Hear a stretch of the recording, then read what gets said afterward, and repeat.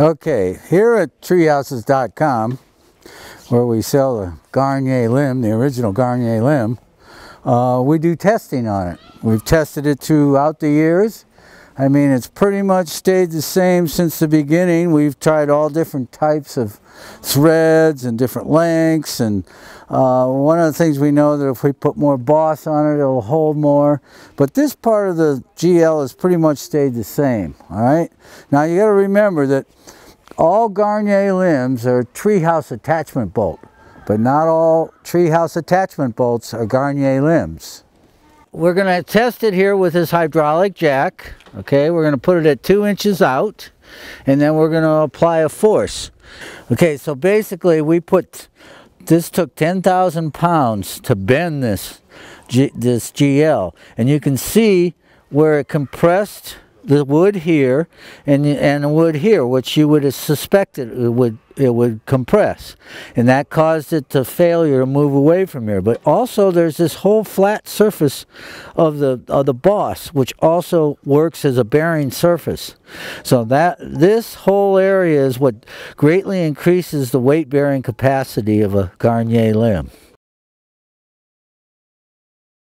Now I tested lag bolts you know, 15 years ago and, and didn't think they had enough weight, but I haven't touched them, tested them a long time. They're, they don't hold near as much weight and they're not as versatile.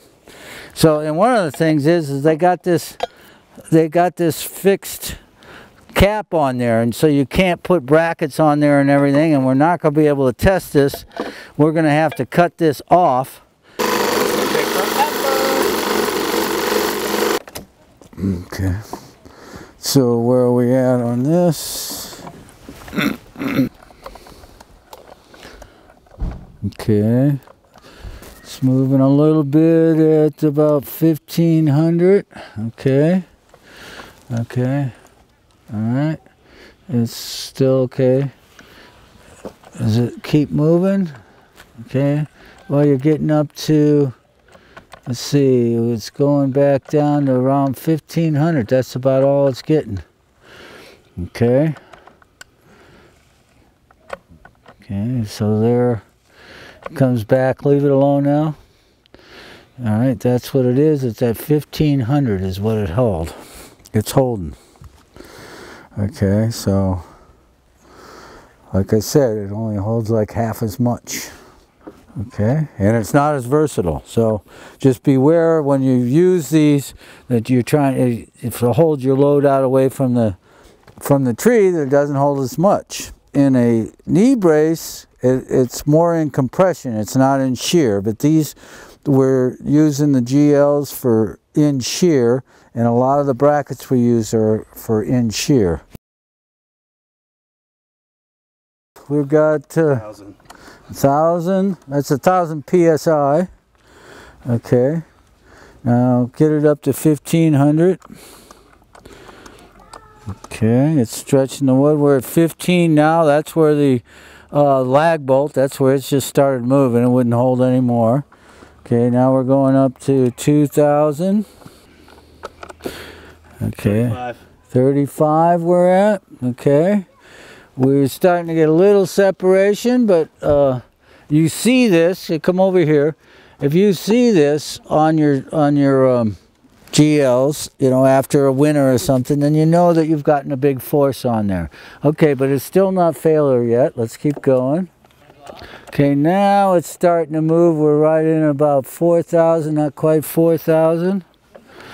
All right, so yeah, now it's starting to fail. It's failing at 4,000 PSI. It just hit 45 and came back. Yeah, okay.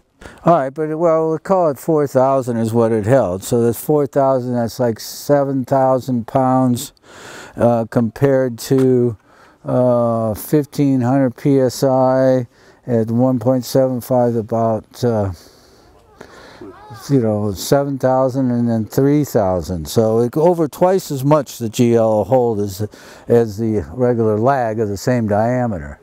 And uh, that's the whole reason for the boss and it allows you to put bigger loads on a tree and hold it away from the tree and uh, give you longevity and uh, safety.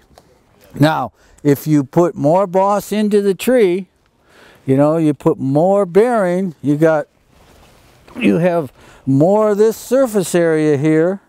You'll have a thicker area on the tree that'll have to compress more of the more of the wood, so it'll hold more weight. And the reason for the big bosses and the, is to allow you to get more weight out of one attachment point.